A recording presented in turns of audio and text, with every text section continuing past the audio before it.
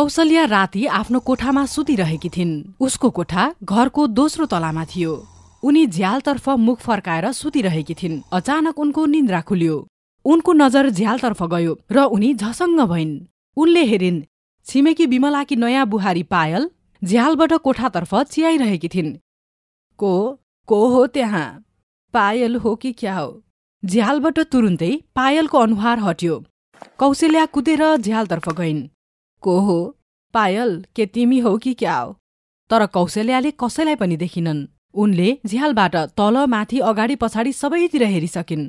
उनलाई पुरै रात निन्द्रा लागेन। भोलिपल्ट बिहान बिहानै उनी विमलाको घर गइन्।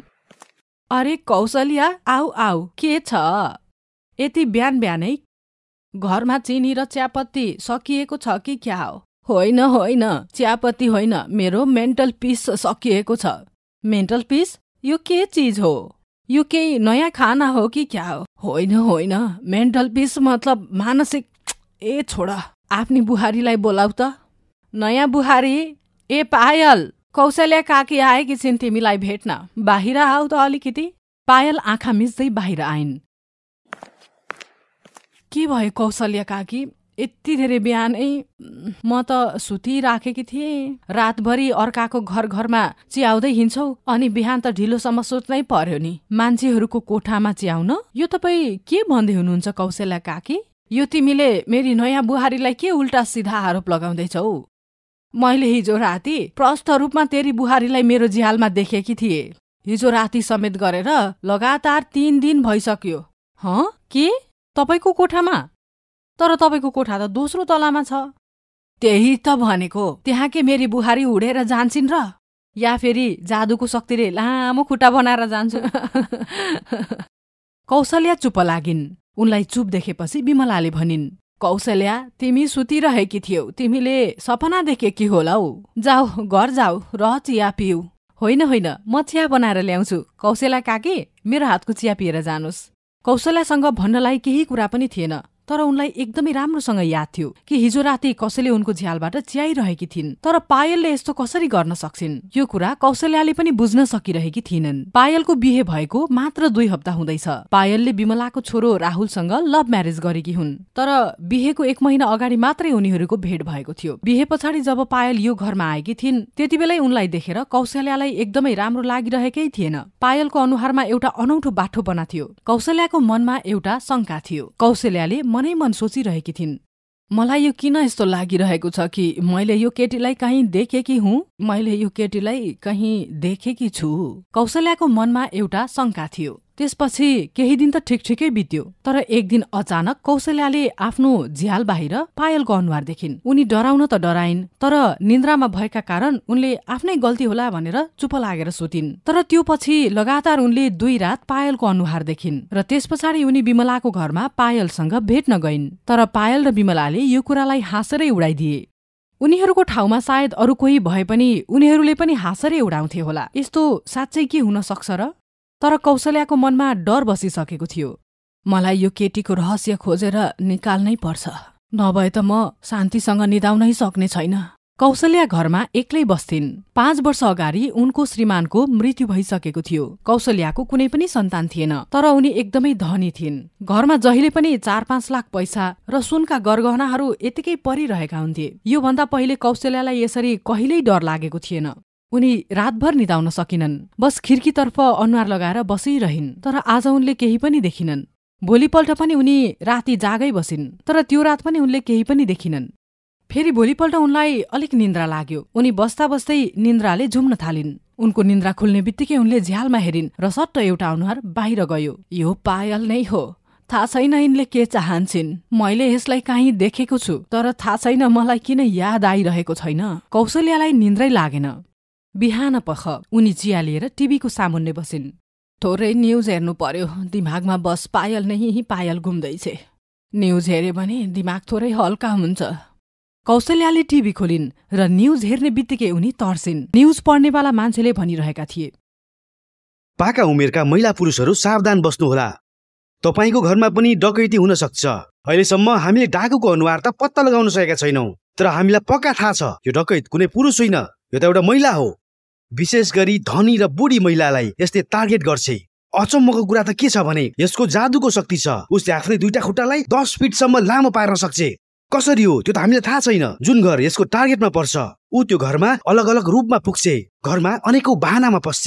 यो कहिले सेल्स गर्लको रूपमा पस्छ काम गर्ने नोकर्नीको रूपमा पस्छ र कहिले काहीँ त ऊ त्यही घरको केटासँग बिहे पनि गर्छ। र यो सुन्ने बित्तिकै कौशल्याको शरीरमा काँडा उम्रियो। उनलाई केही याद आयो।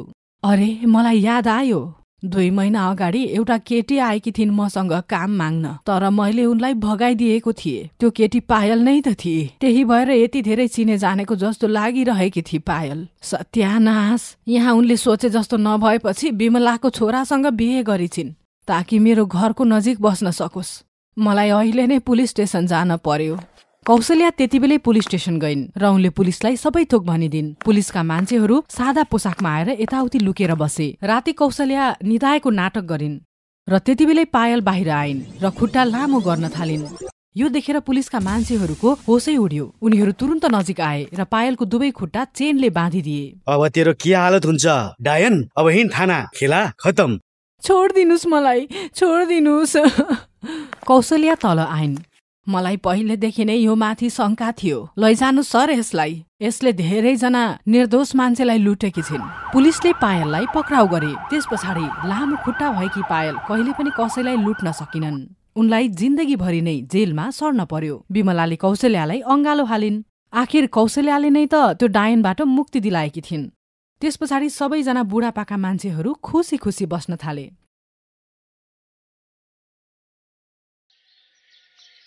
प्रियङ्का प्लिज तिमीले मलाई यति मद्दत गरिदेऊ है। तिमीलाई त थाहा नै छ यो असाइनमेन्ट मेरो लागि कति धेरै इम्पोर्टेन्ट छ। मलाई आजै मोडलिङको लागि यो फोन आयो र म मिस गर्नै चाहन्न। नयाँ बेहुली बारम्बार उसकी साथीलाई यो कुरा मान्नका लागि आग्रह गरिरहेकी थिइन्। तर स्वाति यसको बारेमा कसैलाई पत्ता लाग्यो भने? कसैलाई केही पनि पत्ता चल्दैन। अहिलेसम्म उनीहरूले मेरो अनुहार देखेकै छैनन्। हाम्रोमा एउटा रिवाज छ कि जबसम्म केटी बुहारी बनेर घरमा आउँदिनन् तबसम्म उनको अनुहार हेर्न मिल्दैन। बस दस दिनको कुरा हो। म जबसम्म आउँदिन तिमी घुम्टो ओढेर बस्नु। प्रियङ्का केही बुझ्दिनन् र हुन्छ भन्छन्। स्वातिले आफ्नो बिहेको कपडा उनलाई पहिराइदिन्छन् र लामो घुम्टोले उनको अनुहार छोपिदिन्छन् र आफू चाहिँ झ्यालबाट निस्किएर त्यहाँबाट भाग्छिन्। प्रियङ्का बिहेको पहिरनमा विदा भई निखिलको घर आउँछिन्। सबै यो कुराबाट अन्जान थिए कि घुम्टोभित्र स्वाति होइन प्रियङ्का थिइन्। बिहेको रातमा निखिल प्रियङ्कासँग। अब कोठामा पनि घुम्टो नै ओढ्ने त तिमी। तिम्रो अनुहार देखेकै छैन। तिम्रो सुन्दरताको बयान चाहिँ सुनेको छु। ए त्यो चाहिँ के हो भने नि हजुर मैले नि बिहेको लागि भाकल गरेकी थिएँ। कि बिहेको केही दिनसम्म ससुरालमा म आफ्नो अनुहार देखाउँदिन। तपाईँलाई केही प्रब्लम त छैन नि हजुर? म तिमीलाई कुनै कुरामा दबाब दिन्न भोलिपल्ट प्रियङ्काको भाकलको विषयमा निखिलले सबैजनालाई भनिदिए। त्यतिबेलै उनकी आमाले प्रियङ्कासँग भनिन् तर बुहारी यो घुम्टोभित्र तिमी खाना कसरी बनाउँछौ? केही त देख्नै सक्दैनौ तिमी। तपाईँ चिन्ता नलिनुहोस् आमा म खाना बनाइहाल्छु नि। मलाई केही समस्या हुने छैन। ए ल ठिक छ जस्तो ठिक लाग्छ त्यस्तै गर। तर म पहिले नै भन्दैछु खानाको स्वादमा केही कमी हुनु हुँदैन। सम्झ्यौ? प्रियङ्कालाई साँच्ची नै घुम्टो ओढेर खाना बनाउन गाह्रो भइरहेको थियो। उनी घुम्टो ओढेर मसलाहरू खोज्दै थिइन् कि त्यति बेलै निखिल भान्सामा आइपुग्छन्। तिमीलाई अप्ठ्यारो भयो जस्तो छ। म मसला निकालिदिन्छु। घुम्टो ओढेर केही देखिँदैन होला। तपाईँ किन कष्ट गर्नुहुन्छ? के को अप्ठ्यारो? हामी श्रीमान श्रीमतीले त एकअर्कालाई सहयोग पो गर्नुपर्छ नि। निखिलले प्रियङ्कालाई एकदमै मद्दत गरे। उनले बनाएको खाना सबैलाई मिठो लाग्यो। यो घुम्टो ओढेर पनि तिमीले धेरै मिठो खाना बनाएको छौ बुहारी तर कहिले चाहिँ हामीलाई तिम्रो अनुहार हेर्न मिल्छ? तिम्रो यो भागलको कारण अहिलेसम्म तिम्रो मुह दिखाइ पनि भएकै छैन।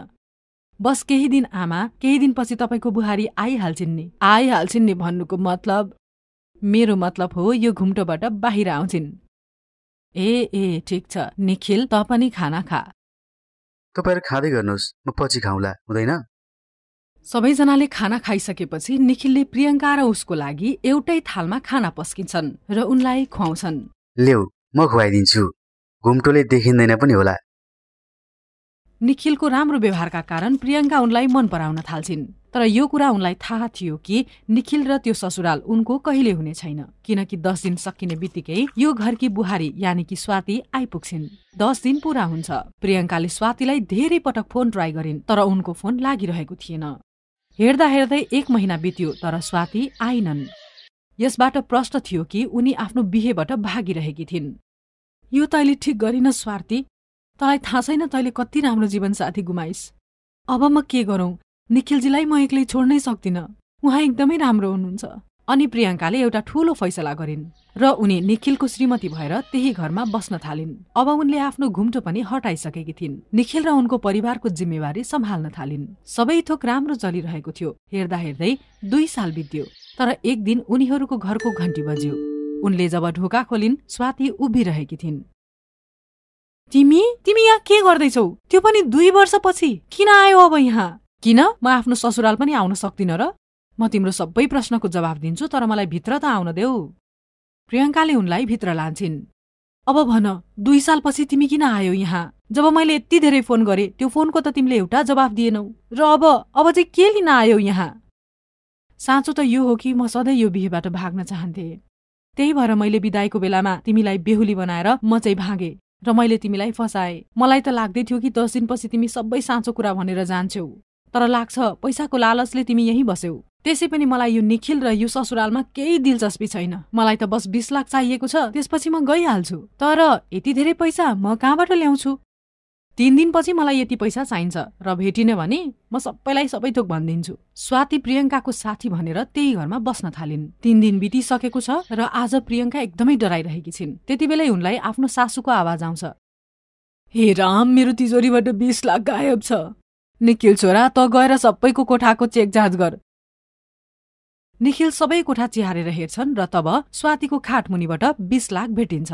हे राम बुहारीको साथी चोर नि निस्के। निखिल छोरा अहिले नै पुलिसलाई बोलाइहाल। मैले केही पैसा लिएको छैन। म त यो घरकी असली बुहारी हुँ। फेरि मलाई चोरी गर्नको के जरुरत? के मतलब? मतलब म भन्छु बिहे हुने बित्तिकै स्वातिले तलाई छोडेर भागिन्। र उनले आफ्नो साथी प्रियङ्कालाई इमोसनल ब्ल्याकमेल गरेर यहाँ पठाइन् र आज पैसाको लागि यहाँ वापस आइन्। तर साँचो भनौँ यो कुरा त म पहिलेदेखि नै जान्दथे। त्यो रात मैले तिमीहरू दुईजनाको सबै कुरा सुनिसकेकी थिएँ र आज म खुसी छु कि त जस्तो केटी मेरो घरको बुहारी बनेर आइन। हाम्रो लागि त प्रियङ्का नै हाम्रो घरकी बुहारी हो। अब जान्छस् कि बोलाऊ पुलिसलाई?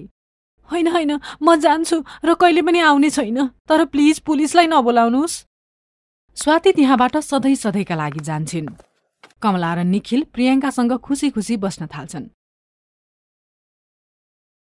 Best Buddies. Hello friends. Thanks for watching this video.